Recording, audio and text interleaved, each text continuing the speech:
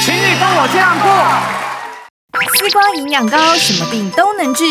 大家知道丝瓜一开始在中医里面是入哪个经络吗？入泌尿道那个经络，它排水利尿啊。有一个字对了，泌，就是它是泌乳在用的。丝瓜其实它就是发奶通乳在用的，鼻过敏、鼻咽喉干燥或容易感冒这种体质，甚至是乳腺不通或是经常肠胃不适，丝瓜是个很适合的食材。食物千万种，吃对让你百病不侵。发掘食物的健康小确幸，精彩内容马上开始。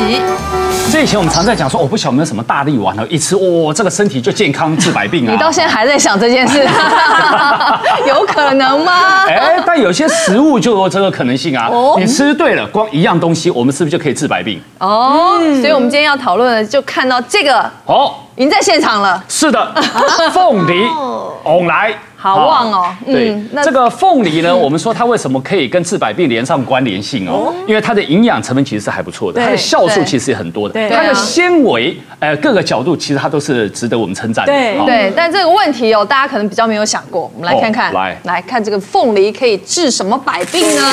说可以缓解因为免疫力低下引起的鼻过敏。哦，全插牌，请准备了，请选择。不行，全部都不行，不行。为什么？因为凤梨，你想想看，它是热带性的水果，跟芒果都是同一个类型。那老人家是不是都说吃芒果，你皮肤不好的话，反而会引起过敏？对。所以热带性的水果基本上对过敏它都会引发，它反而不是会减缓哦。哎呦，是不是？这哪来的理论啊？去坐对面，去坐对面，好不好？讲的头头是道。哎，现在姑且不管他答对没有，我叫他讲起来很有说服力，很有自信，很厉害哎。气势。以后你小孩问你任何课业上问题，哦，你光是解释上面，他说妈妈你好棒。对，然后。就都错了，错就糗了，真的。哎，夏雨欣，但我觉得，因为我自己基本上，因为以之前我就觉得凤梨其实对身体是很好的一种水果，所以我每天早上打果汁，基本上。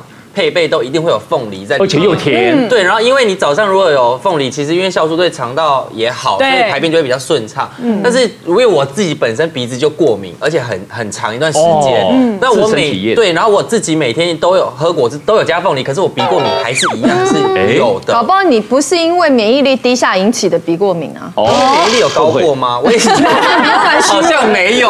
对啊。你也没常感冒啊？哎，但是我没常感冒，可是我很常就是。就是会头痛啊，然后小毛病对，就是小毛病这样子，所以也也不算是特别好，但是我自己的觉得好像没有没有没改善，亲身试验之后，对，他觉得没有什么感觉，对不对？好，来云杰。我觉得我对凤梨的印象就是它的维生素 C 非常的高，所以呢，它是让我又爱又恨的一个东西，因为它会让我嘴破，可是嘴破了吃它又会好。维他命 C 不会帮助鼻子过敏变好啊，所以我觉得它是没有没有这个依据的，它就只是那个海绵宝宝的好朋友而已。哦，就是这样，海绵宝宝住的房子里，就，是这样。的房子里而已。好，大家都选叉，所以这一题的答案应该是什么呢？营养师，答案是全叉。每一个都讲的好像辩论家，你们要不要换个位置？什么热带水果？什么会引发过敏？这要解释一下了。对，因为其实这一题呀，有个重点就是它的鼻过敏可能是因为免疫力低下所引起的。因为刚刚有提到鼻过敏其实有很多原因会引起鼻子过敏。那我们这一题就是一般的舒缓的，就是说你要舒缓这个免疫力那个免疫力低下所引起的鼻子的过敏，那跟黏膜的健康有关。那凤梨呢本身呢，我们刚刚一般就觉得它酸酸的，以为它维生素 C 很高，事实上不是哦。对啊。对，维生素 C 其实一百克凤梨它大大概只有大概十二到二十克左右的 毫克的维生素 C，所以基本上跟一般水果来比，它其实是只有一般水果大概只有不到一半。所以不是酸就代表维生素 C 高，这个先澄清一下。所以 C 最高的水果应该还是。其实像芭乐啦、奇异果、小番茄这些，都是它的一倍呀。一倍以上，对对对被骗了。对，所以其实那为什么你刚刚提到，就是说为什么它还是会有修复的功能？就是你嘴巴破掉，但是你吃它还是有修复。它里面就是有类黄酮的成分，然后另外它有贝塔胡萝卜素跟维生素 A。那这个其实还是很强的抗氧化物质。还有就是我们细胞膜修复的时候，它需要维生素 A，所以其实它是有帮助的。所以不是因为维生素 C 呀，其实是维生素 A 的部分。那嘴巴破其实倒是提醒，真的很多人吃凤梨会嘴巴破，对不对？真的是因为。他们都带皮吃。不是，其实害我都不敢承认我也会嘴巴破。但是因为啊，之前我去那个菜市场买凤梨的时候，那个菜市场的那个阿姨其实有跟我说，她说那个凤梨呀，如果你吃了会嘴巴破，代表说你外面那个就是那个眼的部分啊，你要把它削削掉，哦就是太省了啦，是不是？对对对，皮削太薄了，对，皮太削太白哦，对对对，所以把外面再会再再削一层起来，它其实就比较不容易嘴巴破。哦，是这样子哦。它确实是因为类黄酮的部分，它可以做一个舒缓，但是如果今天是治病，可能就不行了这样子。好，不过谭老师，什么叫做免疫力低下引起的鼻过敏？很多人大概都不太清楚。其实这种哈，这种过敏哦，大概就会有一个倾向，它的流的鼻涕不是那种黄的，它是很清澈的，而且它会很剧烈的，一下就一直哈啾哈啾。同样就是开始就会很连串的，那还会有合并眼睛痒、鼻子痒，大概这种都是属于比较过鼻子过敏造成。好，不过中医的角度，彭医师，为什么免疫力低下鼻子会过敏哦？应该是说哈，鼻过敏它跟体质有关，跟你的环境还有生活习惯有关。那你有些生活习惯会导致身体的免疫力下降，因为这样子而产生过敏，它的诱发。比方说你熬夜。或是你这个呃在的环境湿度跟这个干度它变化太大，早晚温差太大，或是空气不流通等等现象，它会影响到身体的免疫力。所以这个时候，如果说你可以吃一些抗免疫，就是提高氧化的一个东西的话，它可以让身体的免疫反应可以缓解，就不会这么容易会产生过敏。所以刚刚讲那凤梨啊，它有一个抗氧化很好的东西，就是叫类黄酮。嗯，对，类黄酮它会促进身体的免疫反应，所以它会让我们的免疫的这个细胞会活化。它活化之后就不会一直。产生所谓过敏的反应，哦，但是像这个何西他刚刚讲说，哎，我每天早上喝这个凤梨果汁，凤梨它是热性的，像比方说中医讲鼻过敏，他很怕吃凉性的水果，比方说梨子、西瓜、橘子、柳丁，大家就大忌。良性的水果对于不管什么形态引起的鼻过敏，什么肺气虚啊、肾气虚啊、免疫力低下这种鼻过敏都是不适用。但是凤梨是热性的，反而是好的。哦，所以你如果想要透过吃凤梨来改善你的鼻过敏，甚至是免疫低下鼻过敏，要记得其他食物饮食的搭配不可以吃凉性的，不然就没有效果了。那除了它在搭配上要注意以外，呃，比如说我如果要常吃这个凤梨的话，体内例如呃肠胃不太好啦，嗯或者有什么状况，有没有特别要注意的？其实有两个情况要小心。第一个就是说哈，它其实纤维还是比较粗。如果说你的肠胃消化不好的话，你就不要吃太多。嗯，当然是它真的会引起嘴破，因为哈嘴唇它是脾胃的经络。其实刚刚小杰讲，我很想要跟他说，凤梨会让嘴巴破，可是不会让嘴破好啦，真的。人家都是错觉，加盐吃就可以会好啊。那是盐巴吧？对，那是因为盐巴它刺比较刺激伤口，可是那也不算好，它就是等于消毒的作用。那还有一个就是说肾功能不好的人，其他的钾离子含量高，要小心。就是说你如果吃很多凤梨，记得要多喝水，不然你的电解质可能会不平衡。哦，这样子。哎，吃凤梨到底那个凤梨心那一根硬的要不要吃？对啊，那个营养够吗？其实那可以吃啊，而且可以也可以入菜啊、炖汤啊都可以。那个其实膳食纤维是粗了膳食纤维哦，所以其实是可以吃的。哦。所以炖汤也不错哈，吃法凤梨的话。对，因为刚刚提到它里面营养价值，刚刚提到贝塔胡萝卜素啊、维生素 A 啊，或是类黄酮，其实它是偏脂溶性的营养素，所以它必须要有一点油脂，它可以帮助它的吸收会更好。对，所以它适合两种吃法，一种就是入菜吃，比如说像我们之前有那个凤梨鸡汤啊，然后或者是说像有时候凤梨烧肉，那烧肉的话，其实它会让那个肉的那个。质地比较软，因为它里面有酵素嘛，对对对，腌肉都可以用。然后或者是说有的他吃那个凤梨炒饭，那其实它其实就带一点油脂，所以增加凤梨里面的那个营养素的吸收。对，所以其实都这样吃都好。那饭后吃其实有个帮助，就是刚刚伟如其实有提到了，就是说它其实有酵素。所以如果你是喜欢吃那种大鱼大肉的人，吃蛋白质的哦，吃很多的，那那一餐在之后你确实可以吃一点凤梨，帮助你刚刚那个就是胀气或不舒服。但是如果你是吃很多饭啊，或者是面啊，淀粉类的，那它的效果就没这么好。对，所以说其实你要对你要分别。好，来凤梨呢，这是很常见水果。接下来这样东西，那更常见了。那是现在你到厨房去看，一定有。对，姜姜姜姜姜。好，要来考考大家。偏头痛的时候可以喝姜茶来舒缓一下，对还是错呢？哎，我们这个题目哈，这个角度很刁钻。对，你说我们喝点姜茶治我们妇科，如果说有一点不舒服，对不对？黑糖姜茶，哎，好像不错。对，不好意思，偏头痛。跟它有何干系呀？哈，圈叉，请选择。对的。哎呦，两姜一擦。对呀，喝姜很好，因为姜最传统的方法是什么？活血化瘀。又来了，又来了，又来了。对呀，当你偏头痛的时候，表示有气节卡在这里，是这样子。喝姜有没有？那整个循环过去是这样。对啊，冲过去的时候头痛就会好啦。然后热热喝，快快好，大家不是都这样讲吗？快快喝，快快好是姜啊。快快好，热热喝，快快好。哦，活血化瘀，但但是说到一个点，有代谢。不是说什么？哎，你以前什么头发长不出来啊？对，胸毛太稀疏啦，抹姜啊，对不对？冲出来，对，冲出来，冲，真的有冲出来 不知道，来下一期。其实有一点难，但我觉得是有可能的，因为其实你看，很多女生不是生理期，然后我们有时候感冒，老人家也会说，那你要多喝姜茶。嗯那我觉得如果是偏头痛，可能是刚开始这些症状的一开始，所以我觉得。喝姜茶其实应该可以，因为我们有时候喝姜茶会出汗嘛，对，那代谢就会变快，所以我觉得那头痛是不是也是偏头痛？可能也是因为哦，让它出汗，代谢变快，对，卡在这，也不一定是有东西啊，卡到阴是不是啊？就是要找妙峰比较快。但是我我我记得后后来好像他们说好像是嫩姜比老姜好一点，真的吗？就是喝嫩姜的姜茶，好像就是在。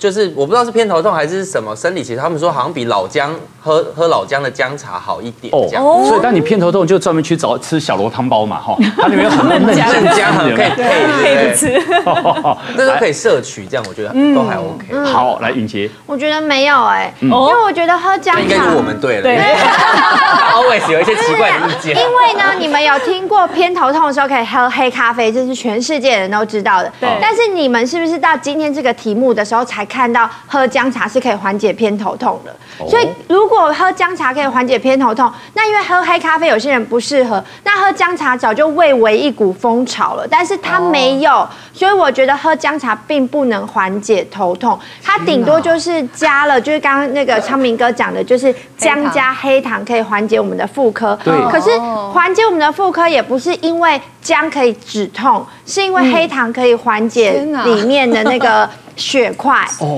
对，所以所以想到刚刚就真的是天哪，对对对。然后最后讲一句话，就是姜呢，它只能驱湿而已，就是身体身体的湿气多的时候，它可以驱湿，但它没有止痛的效果。你最近是不是有买手在念书？还是发现了？还是你把面具脱下来？你真的不是徐杰。好，那正确解答应该是可不可以缓解这个所谓的偏头痛呢？营养师其实是可以的。你书读到哪里去了？你读的是哪一本书？不一样，不一样，那个不一样，不一样。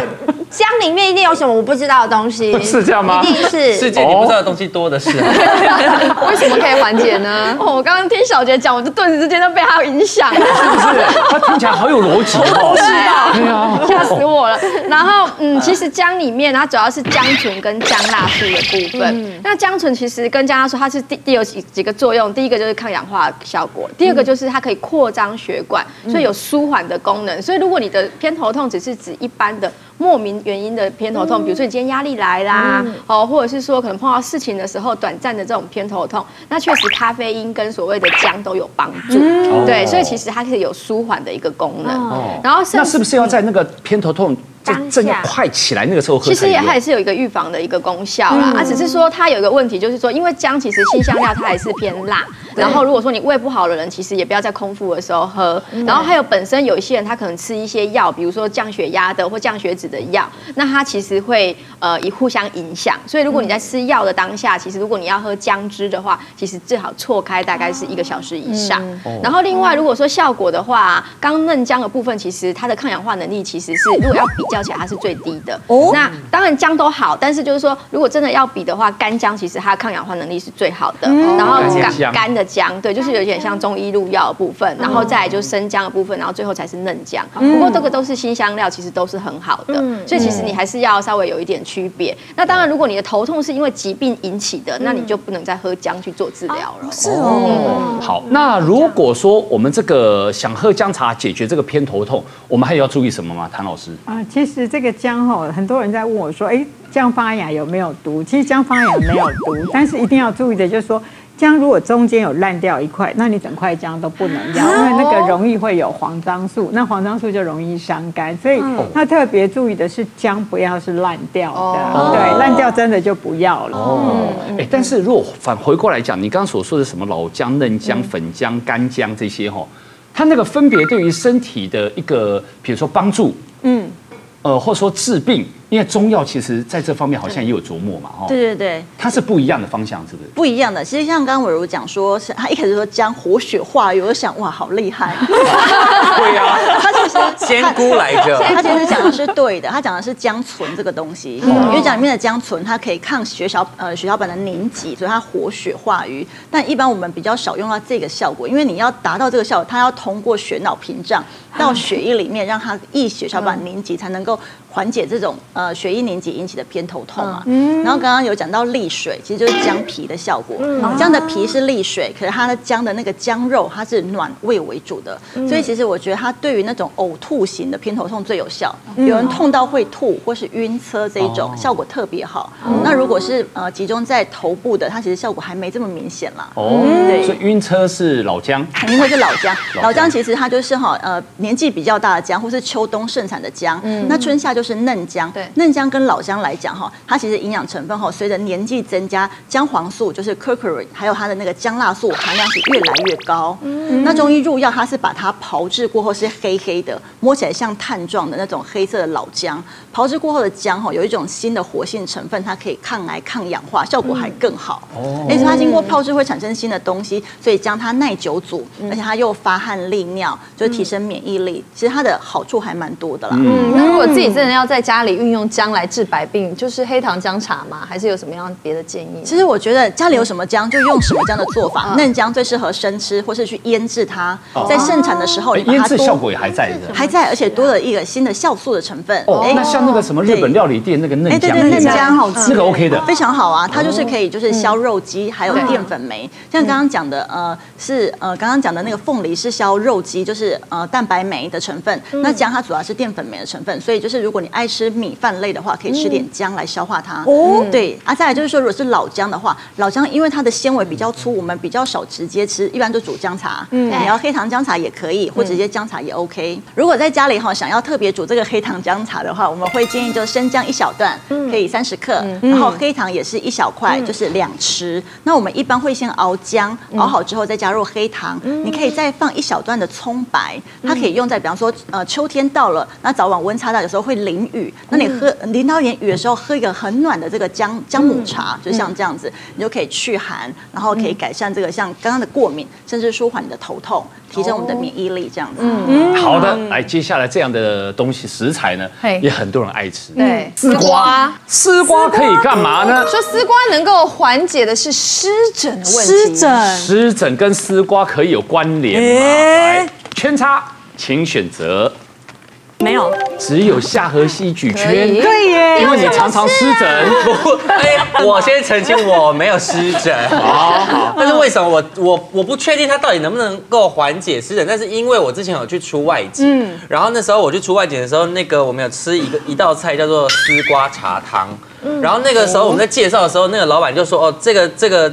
这个料理是可以对皮肤很好的，嗯嗯。可是如果是这样的话，因为湿疹也算是皮肤的一个系列的嘛，对对，所以应该算是可以有有对皮肤好的话，应该就可以缓解湿疹吧。哎，行万里路，胜读万卷书，真的。所以这样讲讲，人家刚好多到这个，那我就不要读书啦，没有，不行啊，因为你也没行万里路，也没读书，你就是笨蛋。那你读了什么？你现在读了什么？为什么？为什么觉得不行？没有，因为我觉得湿疹。据我的了解，它是免疫方面的疾病，跟皮肤无关啊。哦，对，因为湿疹应该是免疫方面的疾病，跟皮肤无关，所以你刚刚讲的那个理论就是错。对对对，没有没有，我的理论某港，我讲出来你们会吓到。有有有，仙姑仙姑。丝瓜是属于寒性的食物，我们如果皮肤比较寒，就表示你湿气太重。如果你再吃丝瓜，整个湿气会太，整个那个湿疹会压起来。上加湿。对，不能吃湿的，你要吃湿有两种。对，有丝瓜还有湿。所以不能配在一起，反而会让你加重病情。你应该要吃比较热性一点、比较燥一点的东西，才可以缓解湿疹。不是不是，这个时候来吃凤梨，来吃榴榴莲，没有没有也不行。好，那丝瓜是免疫还是皮肤？然后吃丝瓜能够舒缓湿疹吗？可以哦，小杰。你可以耶？你就是没吃，所以常湿疹哈。所以要教大家以后去火锅店都吃火锅这么燥热的东西，吃点丝瓜吧，不要这么燥热，对不对？所以它应该加一点丝瓜才可以。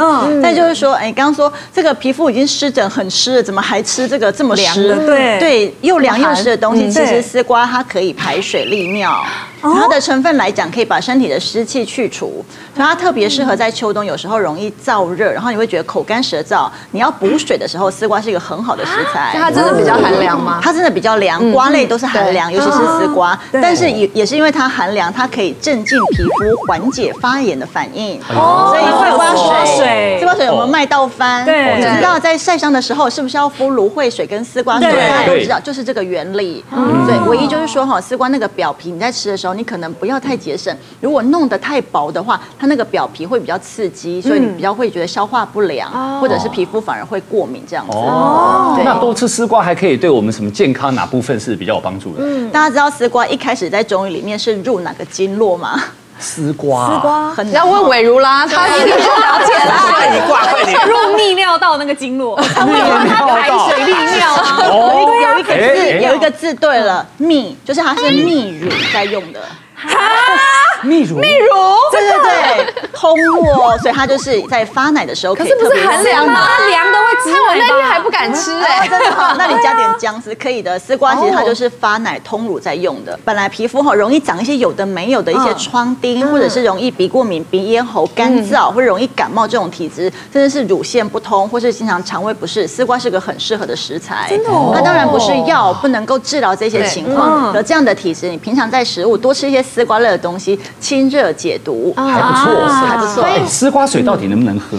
丝瓜水可以喝，可它很难得。它要清晨你切开的时候，它自己滴出来那个才是丝瓜水，而且它放着久久久不坏，里面的微量元素还会越来越多，会发酵。嗯，对对对。所以如果真的买得到那种真的是在田那边，对了，切开来接的丝瓜水，其实对皮肤是很好的。嗯，所以其实丝瓜这个营养成分到底怎么样？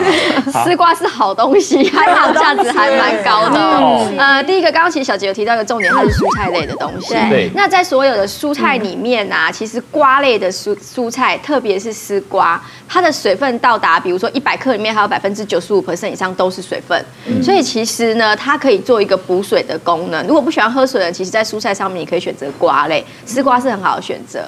然后另外一个就是说，确实吃火锅的时候可以多吃蔬菜，因为它是属于 GI 值比较低的蔬菜，所以它会让你就是在餐后的血糖比较不容易飙高，然后是减肥很好用的蔬菜。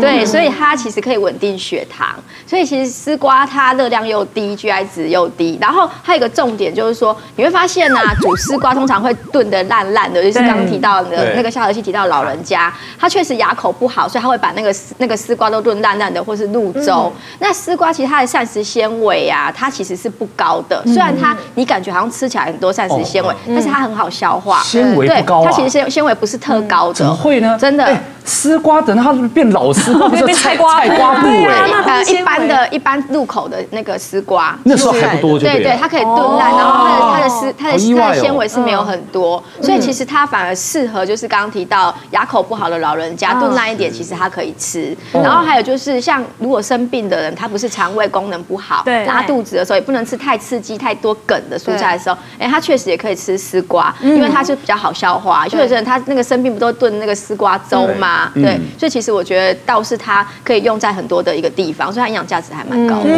那像刚刚何西很厉害，讲到丝瓜茶汤哦，是不是就是中医师建议可以吃那个丝瓜的方法？真的真的，它是一个很好的好东西哦，教大家怎么做。好好做吗？很简单，很简单，就像这个一百五十克的丝瓜这样一根，嗯，然后再加上一些丝瓜新鲜的叶子。你可以跟他要一些新鲜的叶子，对对对啊，或者是有的丝瓜它会连叶子，没有叶子有没有差？哎，有卖干的丝瓜叶也可以，真的没有的话，茶叶也可以，就是丝瓜连它的叶子，就是等于是全食物，呃，从叶啊、茎啊、根到种子，整个都在的的概念。然后就是切片煮汤加姜丝，这样就可以了。就这样。对，然后喝它的汤可以预防脚气，如果有人很会流脚汗的，或是荨麻疹的体质，或是痔疮，然后养颜美容，然后美白淡斑。哎呦，不调味，不调味，不用调味。如果觉得太呃淡而无，因为它就是当呃丝瓜茶水当汤这样子喝。当然，如果说你连这个果肉要吃也是没有问题，加一点点盐也是可以的。可以，对，一点点的。嗯，哇，没有想到有这样子的喝法。对呀。好，那丝瓜还可以怎么料理啊，谭老师？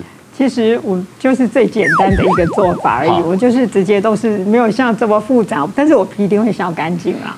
对，因为那个皮有时候你带太多的时候，那个小孩子就会觉得口感不好。对，那不然基本上我们就是这个其实是台风过后最廉价的一个食物，所以我到现在蛮推荐的。好，这个就是我们在吃丝瓜的一个方向啊。是。接下来这个食材，哦，这个前一阵子很红哦。对。台风一过之后，说这个价格飙涨，飙涨，飙到一倍、两倍这样在飙啊！我这好像全家大小都会喜欢吃的菜。菜。来，高丽菜。高丽菜。我们来看这个题目，要问问大家：高丽菜能够改善胃溃疡吗？可以吗？胃溃疡它这个疾病真的要找医生，但是它能够改善它吗？改善哦，我们没有说根治或什么哈，不是医疗学改善。改善。圈叉，请选择。可以，哎呦呦呦，只有你说可以哦，你选错了。高丽菜跟花椰菜都是属于十字花科，大家都知道嘛。抗癌什么东西最厉害？十字花科就是抗发炎，所以会抗癌嘛。那你有胃溃疡就是在发炎，胃在发炎，所以你在吃高丽菜的时候，绝对就可以抗 抗到胃溃疡，可以保护胃。但是唯一高丽菜有一个小缺点，就是我们在吃它的时候，那个最外面那个梗有一个很粗的那个梗。你如果是属于比较容易胃胀气的那个白白的那个，你真的要少吃它，因为它真的会诱发你胀气。会胀气。对对，所以你如果是说比较容易胀气，你要注意那个梗，可能不要吃太多，就把它弄掉。对，就吃旁边的叶子。刚考到证照是不是？营养师啊，所以可以抗发炎。对，胃溃疡就是胃发炎嘛。厉害，十二指肠十二指肠也可以，也可以。痔疮也可以，也可以。排泄之外，只要管它，只要肠道整条哪里不都十字花科什么都好。万岁！你你应该不是我学妹之类，拜托不要来。毕业的？我觉得应该不行，不行，因为。我们一开始在呃煮高丽菜的时候，其实高丽菜不是那么好煮的一个菜类，就不是那么快软的，或是。但如果你胃已经，它不是说可以煮大概半生不熟脆脆就可以吃的，不是？可是因为如果你可以吃了，就对，其实高丽菜对胃好。但是如果你已经溃疡了，嗯，那如果它半生不熟脆脆的，那就如果是好的话，那为什么不吃丝瓜这种？就是对是比较好消化，消化对。那如果已经不好消化，然后你又溃疡，那吃下去我觉得。应该不会不能不对，比较有负担，然后不能像也有道理耶。对哦，你对哦，有点被十字花，十字花。来，来云杰。错。错来，它中间有语病。哎呦，它不能改善，但是可以预防。我承认它可以预防，但我不认为它可以改善。因为那个之前，呃，如果说，例如说，我们去那个小吃店，他不是都问你要吃地瓜叶 A 菜还是高丽菜还是什么菜吗？可是人家说，如果你当下胃是比较不舒服的，你可以选择吃高丽菜，因为它比较不会伤胃，然后高丽菜黏膜又又可以顾一点点胃。可是它可以预防，不能改善。它甚至于不要说胃溃疡，连胃痛它都不能改善，它只能预防，只能预防。我觉得所以多吃高丽菜，我们不容易胃溃疡，对，不容易。但是那个预防跟改善是不一样。但一旦这个城堡被攻破了之后，高丽菜来也没救，也没救了。对，没救。那它因为它毕竟是菜，不是药啊。哎，对啊。哦，哎，这个听起来好像有哈，也有道理，真的。对？对对对。那营养师，真正的营养师，架杠的营养师，对 对对，都被我这个要强调一下，因为我不晓得为什么刚三位讲，有点错觉。我们这边三位专家脸部不 时的扭曲起来。你的解答应该是什么？答案是错的，错的。为什么？因为本身所谓的高丽菜，它有一个维生素叫维生素 U。嗯嗯。那这个 U 呢，其实它本来就可以对黏膜它是有保护的功能。但是胃溃疡其实它已经严重，其实应该溃疡了。其实通常都是吃慢性病的药物了。哈。对。所以，但是为什么大家会一直以讹传讹？就是因为它的 U 可以被平常如果说你真的是胃，比如说有些胃稍微有点发炎的，嗯，还没有到溃疡的情况之下，那 U 它确实是可以修复，然后可以一个保护胃黏膜的一个功能，这样是 OK 的。然后另外呢，如果说真的胃溃疡了，就是要吃什么？就是要吃纤维很低的。嗯，对，然后不要让你的胃一直刺激，因为溃疡其实有点像是伤口已经在在受伤了嘛，你不要再一直用粗的那种叶梗去刺激它，或是让它不舒服。所以高丽菜其实一百克一份的高丽菜大概是一点二克的膳食纤维，它是属于纤维低的蔬菜，跟丝瓜有点像，对对对，有点像，对，所以其实它可以替换着吃。对，所以如果说胃溃疡、胃不舒服、压力大了引起的这种疼痛，那你就要选择纤维低的，所以它是很好的一个蔬菜来源。所以人家才会说啊，胃溃疡，因为胃溃疡有表现就是会痛嘛，对，会不舒服嘛，所以这时候你吃这个高丽菜，你会觉得哎比较没有负担，所以就会变成说哎胃溃疡，呃高丽菜可以治疗胃溃疡。哦，是这样误解。但是在日本呢，确实它还有一个功能，就是高丽菜里面呢，它有营养价值，它叫做硫代配糖体。那它在日本呢，他们有一些小研究发现说，因为日本人很喜欢吃咸的东西，或甚至日本人有很多是那一种所谓胃幽门杆菌引起的所谓的一个胃癌的部分。那日本人的饮食习惯，你看他很喜欢吃咸的拉面，然后很喜欢吃烧烤类的东西，烧肉这些，那确实它这个都是容易诱发所谓的一个胃癌的一个发生。所以里面高丽菜确实有所谓的一个硫代配糖体。那他们研究发现，你生吃，因为这个高丽菜里面这个硫代配糖体这个营养素，它怕煮。煮煮很久很久，它就会流失掉。所以像他们，你看他们吃烧烤都会配那个生的生的高丽菜，其实它是有一点，有些有点像预防的功能这样子，所以其实也不错。但是有些人他不吃生的菜的时候，你在煮高丽菜，你要保留我刚刚提到的所谓的硫代配糖体的话，那我们建议就是用蒸的方式。然后蒸的时候呢，你就不要蒸太久，大概是五到七分钟，稍微软烂，其实就够了，够够了这样子。哎，那你这样说起来，以后烤肉我们干嘛硬要去买美生菜啊？要去买那个对对啊。高丽菜就可以，其实高丽菜就好啊。对呀，来彭医师来补强一下。是的，其实像溃疡这种东西哈，它最怕三个东西，嗯，第一个高糖，再就是辣的。再就是水分太多的东西，嗯，所以就算高丽菜它的这个呃维他命 U 的成分，它可以就是预防幽门螺旋杆菌，但是如果打成汁喝，那个水分太多，一定也是不好的。哦，对。不过高丽菜有个很好的这个优点，大家可能不知道，它是高钙的食物，可以预防骨质疏松哦。高钙，对，它可以预防骨质疏松。它很硬啊，蔬菜它有钙质啊。哎呦，钙质还不是它的重点，它有个东西叫做维他命钾，这种钾的东西哈，K，其实 K 它可以促进这个。维他命 D 以及钙质的吸收，所以它整个配起来对预防骨质疏松其实是很有效的。嗯，因为我们很少这个蔬菜里面哈有像这个动物性的这个钙质的来源，对，所以呃除了这个部分以外，它也是有这个固胃的成分，促进营养的吸收。所以我觉得高丽菜哈，它其实在这个中医来讲是很推荐的一个食物，好东西，对不对？但是好东西其中仍旧是不是会有美中不足之处？对，像刚刚维鲁说的，他说他的话还要讨论。好好讨论一下，但是我们追根究底一下，在家里面炒青菜，你是不是也都会把它给挖掉？嗯，对，大部分是啊，对啊，因为很硬啊，那梗很硬，我会拿下去炖汤哎，因为人家说用梗炖汤会比较甜，有这样的讲法。炖汤可能炖汤可以吗？但如果是炒青菜，好像就拿拿起来，会把它拿掉。所以这个到底是不是会像他说的这个什么胃胀气？会吗？营养师对，其实，在临床上看起来的话，哈，如果很容易胀气的人，然后他在同一餐里面吃大量的高丽菜，他确实会容易造成肠道一直滚动，然后他会反映出说，告诉我们说他容易胀气。哦所以，如果你吃高丽菜会胀气的人，其实就是几个解决方式，一个就是不要太多，第二个就是说，如果真的容易胀气的话，其实你就真的煮熟一点。它可能里面的这些所谓容易胀气的成分，哎，它也比较不会那么诱发你肠道不舒服。但是你煮太熟，又有一些营养成分好像又对对对，会是这样子的问题。所以就适量，适量，适量。好，那高丽菜在料理哈，谭老师有没有他要注意的？比如说跟什么食材搭配，会不会有什么？其实我觉得。这个在市面上很常见，就是培根炒高丽菜。哦，吃这个真的是不大建议的一个。不建议什么？红色这个培根哈，其实就是红色加工肉品嘛。那去年就被这个世界卫生组织列为一个比较不好的这个呃致癌物质。那所以我觉得这个就不要再。其实高丽菜青炒，我觉得是一个蛮简单又蛮小孩子会蛮喜欢的青菜。好。那接下来这样东西呢，就是很多人在吃的时候呢，不管煮的再好吃与否，加一点它，肯定就觉得哇，增色不少。对，辣椒，辣椒，它的题目哦，很正确与否？来看看，来治什么百病呢？吃完生食之后再吃辣椒，可以杀菌，避免生病。圈叉，请选择。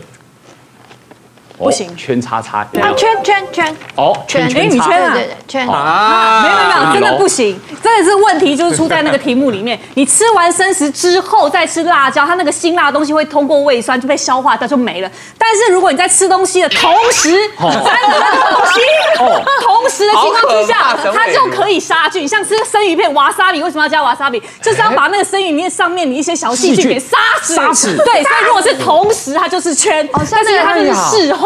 哎呀，厉害！泰国菜什么酸辣的生虾，对不对？哎，有道理。对，所以事后吃就不行，因为你通过胃酸就已经被胃酸杀死了，所以一定要同时。所以那个菜过期过了两天，怕什么呢？细菌衍生出来，辣椒多加两两把炒一炒一起吃，细菌就杀死了。对，要同时。有什么毛病？还下西但但这题我觉得有一点难呢。但刚刚文华姐提到说，那个我们因为我其实很容易肚很容易拉拉肚子就对了。但是因为我去泰国吃东西，就他们的就是因为我们通常去吃就酸酸辣辣的嘛，所以就很怕会有拉肚子或怎么样这样子。然后但是因为那些东西你也他们也都在太阳下这样晒啊，然后就是。苍蝇这样飞啊！我们吃了，但我也没事啊，所以是不是是有效的？就杀菌杀菌的，哎，笨的感觉。其实这一点我跟夏一基的想法完全一模模一样样的，因为我刚刚从越南回来而已。然后呢，其实我去越南我超级开心的，因为它的每一道食物，每一个餐厅它都会有生辣椒。为什么我觉得它可以杀菌？因为你下去之后，你有没有发现，虽然胃会去那个。溶解那个东西，但是你胃还是会暖暖的。那为什么棉被要？因为辣过头了。对，那因为辣 辣会让你的胃暖暖的，对不对？那为什么棉被要去晒太阳？就是用热去杀菌。哦，外线吧。对那如果你的辣椒辣椒有这么高温，是不是高温到可以杀菌？辣椒原来是胃的太阳啊！对哦，你的辣椒到胃里面暖暖的，它是不是就多少有在杀菌的功能呢？对，对呀。赶快来问一下营养师，这一题的解答应该是什么呢？错，错了。不。不行哎，是先后的问题吗？还是我跟你讲，杀菌这个是其实有一点扯太远了啦。因为本身呢，辣椒里面呢，如果你这这个东西不卫生，你再吃太多了辣椒，其实它并不会让你觉就是变得没那么厉害杀菌，所以这个是没有相关的。辣椒里面它主要两个营养成分，一个叫做我们在讲的就是辣椒素。嗯，那辣椒素它其实带给我们就是所谓的抗氧化，还有就是辣的功能。辣就是它会吃，就会有一个辣味存在，会感觉辣。然后另外有一个叫做辣椒红素，其实它就是所谓的贝塔胡萝卜素。嗯，所以其实如果说你真的吃到新鲜的辣椒，用一点油去料理的话，其实对眼睛也很好，对提升免疫力也很好。里面又有维生素 A，又有维生素 C。所以其实如果说真的敢吃辣的人，适量的吃，其实你干吃它其实吸很多。那如果它入菜之后，它变成脂溶性的营养素，它会提高吸收 A 跟贝塔胡萝卜素，对预防心血管疾病也很好。那因为它本身其实。嗯，我们刚刚提到的那个辣椒素，其实会刺激胃胃黏膜，会反而会不舒服。所以如果你真的不敢吃辣椒，我觉得红椒也不错。红椒也有一样辣椒的维生素 A 跟维生素 C，可是它的那个辣椒素其实它是比较少的，所以比较不容易刺激。那那个那个绿色的那个不会辣的辣椒嘞？绿色糯米椒，糯米椒，糯米椒其实跟红椒其实它是一样的效果，不过红椒相对还是 A 跟 C 比较高。谭老师就很爱吃辣啊，对，就是我们我们是吃那个生的辣椒，对，但是小杰刚刚讲到有一个，它会降低这个死亡率，是真的，对不对？对，因为那个中香港中文大学的研究，他就说，哎，吃这个辣椒的话，可以降低十四 percent 的死亡率。哎呦，嘿，对，然后那个国建局跟那个呃。跟我们台湾哈，就是台湾跟韩国，因为韩国吃很多辣椒，他们就发现相同的疾病，他们的死亡率比我们少。哦，对，所以这个也是有道理，对不对？对。哎，彭医师，那中医逻辑，辣椒吃了对我们什么疾病比较有帮助的？其实辣椒真的是好东西了，它维生素 C 的含量非常的高，而且它是温中散寒。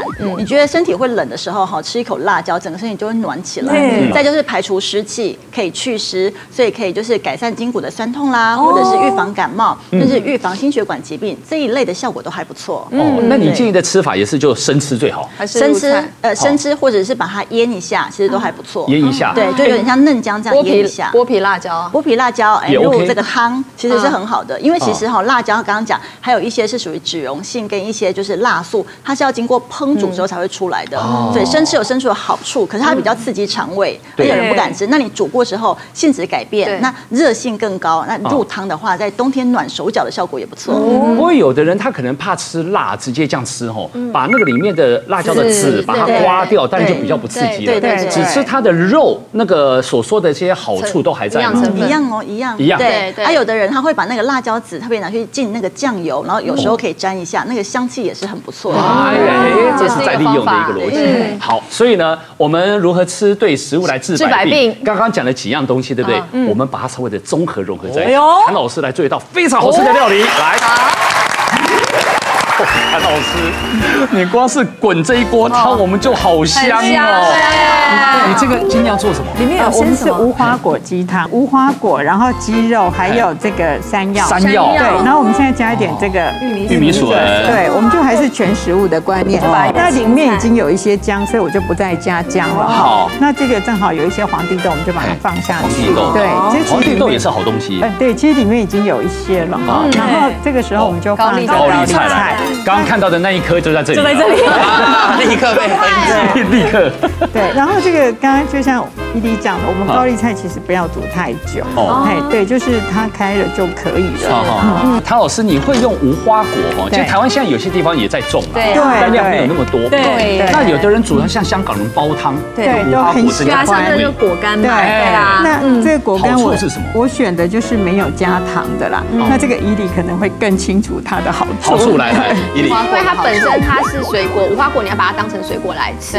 那它其实第一个它纤维很高，所以很多人吃完那个无花果之后，他会觉得肠道蠕动还蛮顺畅的，帮助排便。然后第二个就是说，它是属于在呃水果里面呢，它是属于高钾高钙的食材，然后也是高镁的。所以如果对一些比如说三高的病人，那他偶尔就是哎想要换一点果干来吃的话，其实我们也会建议吃无花果。不过因为无花果相对，因为它是果干，相对它的热量，你看它很甜嘛，有的好吃的无花果它很甜，就相对它的热量也稍微高一点。所以其实大概是如果说一大颗的无花果的话，大概会接近快要两份的水果，刚好就是一天你的。你的水果量就女生就差不多了，所以无花果果干不能当成零食乱吃，但是你可以入菜，然后可以把它当成水果来吃。真的，对。不过它虽然甜，它对于这个降血糖效果其实不错，所以糖尿病人可以吃，然后降血脂。在中医哈，它是属于润肺，然后可以预防这个痔疮啦，然后健肠整胃的效果。哦，好处很多哎。好，所以呢，像这一锅鸡汤里面呢，我们无花果好处，我们利用它的甜度，我们来润，对不对？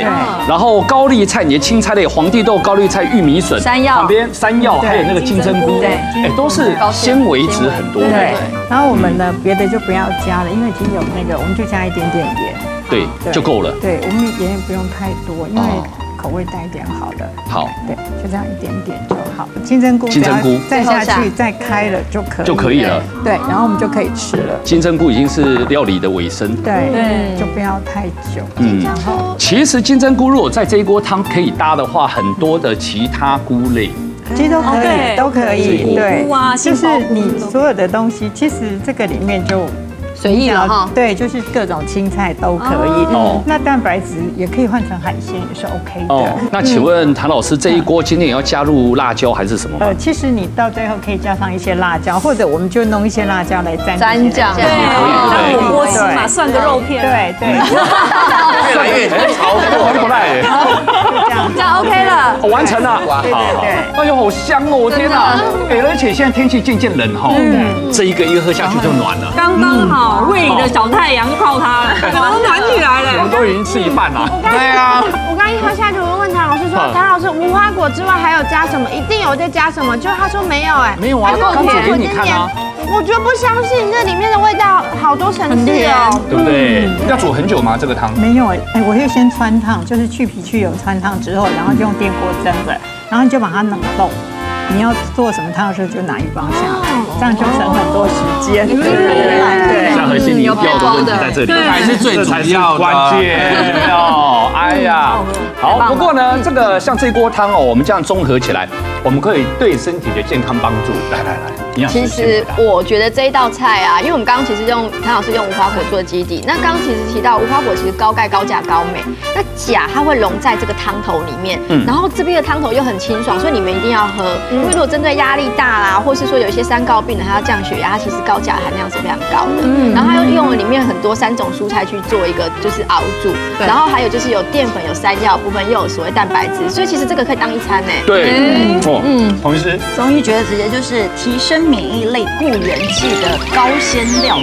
哇，这个山药我们一天在讲它的皂苷，提升免疫力、抗氧化的活性，又健脾固胃，还固肺。刚刚讲的无花果也是一个润肺，那秋天好又入肺经，所以我们才会觉得口干舌燥。它里面还有这个扁豆，还有这个金针菇里面的多糖体，对人体的免疫力提升都是